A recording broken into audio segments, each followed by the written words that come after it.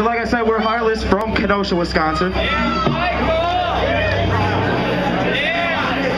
We've uh, we got a new drummer. His name's Greg. Obviously, they don't care. They're not paying attention.